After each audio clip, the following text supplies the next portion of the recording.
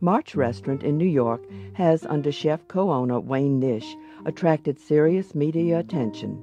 It won a top table award in Gourmet's Readers' Poll, was cited in John Mariani's book on New York restaurants, and won a Golden Dish Award from GQ magazine in 1997. Here is sashimi in olive oil and soy sauce. Um, the dish is being made at March these days with a Japanese flatfish called hirame. Hirame is uh, very uh, similar to flounder, uh, small fluke, gray sole, lemon sole, Dover sole, but I've done the dish with a lot of other uh, fin fish, such as wild salmon, halibut, and coho salmon, a number of different items. You can certainly get the fish filleted from your local fish market, but it's going to be critical to look for what is generally referred to as sashimi quality fish.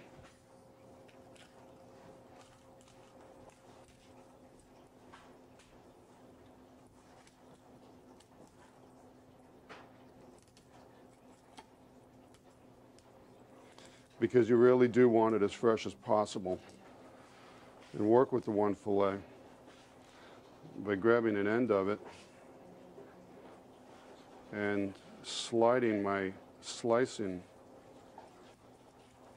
knife underneath it and working back and forth in order to separate the skin completely from it and turn it over and check to see that I haven't left any of the skin or the, or the fat underneath it. Once I've got the fillet off and there are no bones here at all, all I'm going to proceed to do is to slice on an angle very thinly.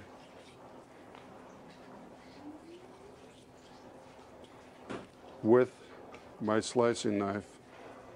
And if I get a little too thick, simply turn my blade onto it and flatten it out so that it is tender. And we're not spending any time chewing. I'll then take the sliced fish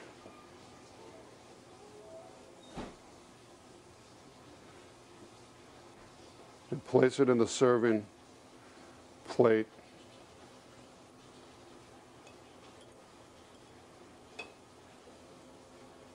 in one thin layer across the bottom.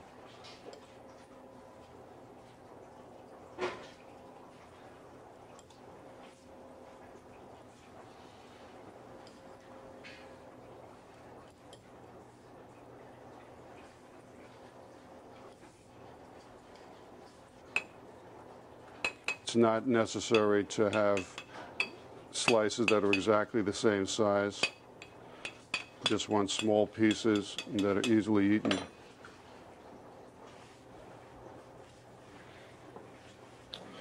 The garnishes, as I mentioned before, or the success of the dish is the excellence of these garnishes. I'm using a uh, extra virgin olive oil from the Chianti region of Italy, although I've used other oils over the years.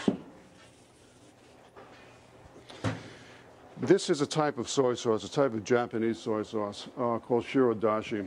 I've used regular Japanese soy sauces in the past, and, and a regular Japanese soy sauce, one that you'll be most common with, is made from uh, a, a, a, distillation, a fermentation of 80% uh, soybeans and 20% uh, wheat. Shiro shoyu, which means white soy sauce, is made from just the opposite, 80% wheat and 20% uh, soybean. However, in that case, and this type of soy sauce is hundreds of years old, it is very, very delicate in flavor. What is typically done with it in order to bolster that flavor is to add typical dashi ingredients, which are dried fish, dried mushrooms, and dried uh, seaweed. After that is done and uh, flavors are extracted from it, it's then called shirodashi.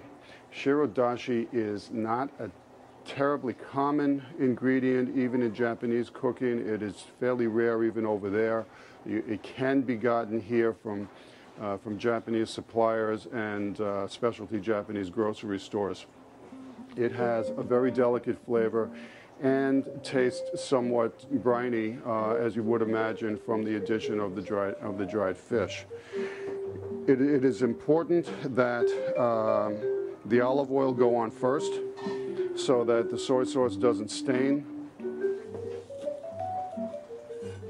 And then I'm going to season with chives.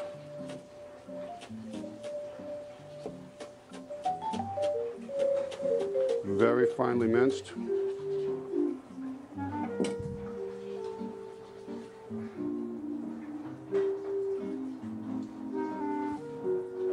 In an almost